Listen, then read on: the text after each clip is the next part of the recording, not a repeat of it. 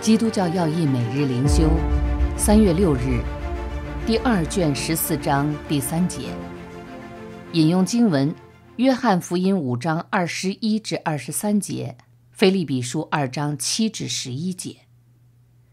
在中保位格里，神人二性的合一。圣经中同时论到基督神人二性的经文，许多都在约翰福音中。约翰福音最清楚解释基督的神人二性，其中这些经文并非专指基督的神性或人性，而是同时指二者。他从父神领受赦罪的权柄，随己意叫人复活，赐人公义、圣洁、救恩。他受差遣来审判活人死人，与父同被尊敬。最后，他被称为世界的光。好牧人，唯一的门，真葡萄树。当神的儿子道成肉身时，圣父赐给他这些特别尊荣的称号。基督在创立世界以先，与父一同拥有这些称号。然而在降世之后，是以不同方式彰显。这些称号不可能赐给只具人性的人，所以基督必是具有神人二性。我们应当以同样的意义来理解保罗所说的：在审判之后，基督将把国交与父神。神儿子的国度无始无终，然而他将自己隐藏于卑微肉体之中，又虚极取了奴仆的形象，撇下他威严尊荣。他显明了自己对父神的顺服。在此降卑状态之后。最终得了尊贵荣耀为冠冕，被升为至高的主，使万膝跪拜在他面前。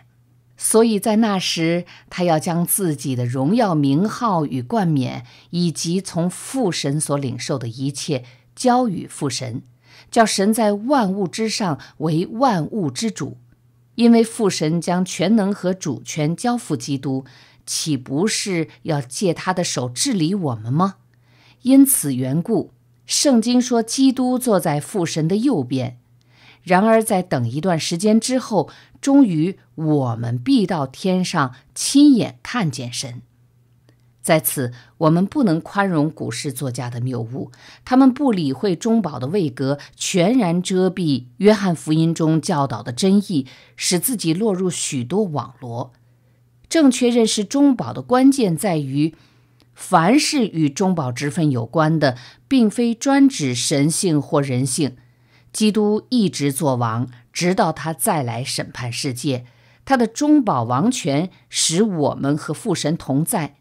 虽然我们是如此软弱，但是当我们完全得赎，得享天上基业的荣耀，得见神的真体时，那时基督既已完成中保工作，放下中保职分。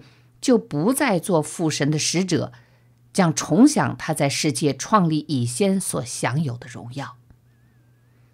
主这称号专属基督，是指他作为神与我们之间的中保。此即保罗所说的意义：只有一位神，万物都本于他，并有一位主，万物都是借着他有的。这就是说，父。将为主的中保之分交付他，直到我们面对面得见他神性的荣耀。那时，他要将主的中保之分交还给父神，这样他的荣耀不仅丝毫未减，反而更加明亮照耀。